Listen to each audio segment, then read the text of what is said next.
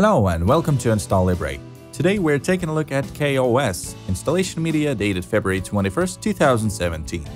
KaOS is an independent Linux distribution with a rolling release model.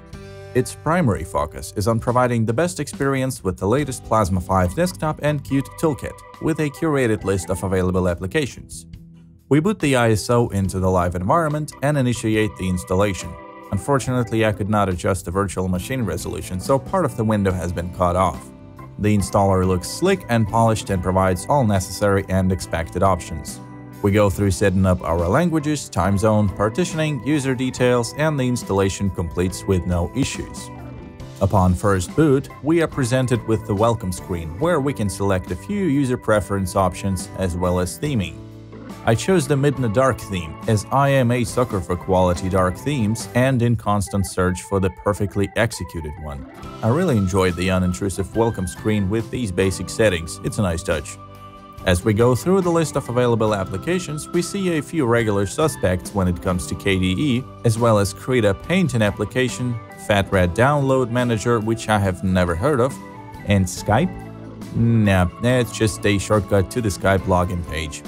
There is also a nice range of media players, including SMTube for watching YouTube videos. Calligra Suite is pre-installed for all your word processing and spreadsheet needs.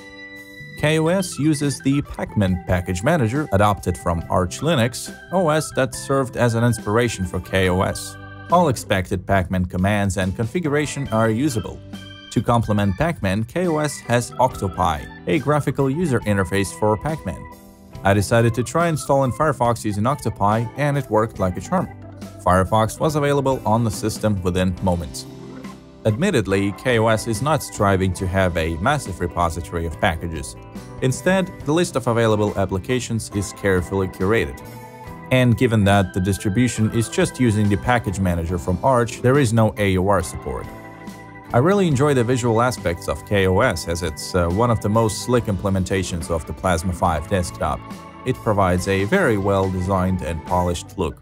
To complement your desktop, a variety of nicely themed desktop widgets are available as well. KaOS appears to be a great distribution for both newcomers and experienced users.